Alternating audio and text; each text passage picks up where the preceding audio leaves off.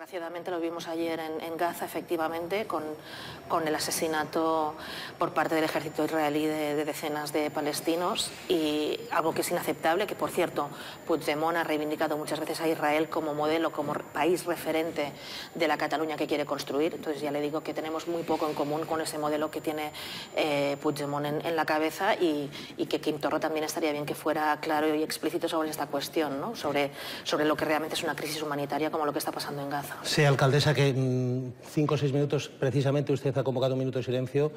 Eh, como protesta por la tragedia que se está viviendo. Y porque Europa no puede mirar hacia otro lado. Europa lleva demasiado tiempo mirando hacia otro lado con, con, la, con la, crisis en, en, Palestina y no podemos mirar hacia otro lado. Se está, se está masacrando a, a un pueblo y hay que posicionarse a favor de los derechos humanos.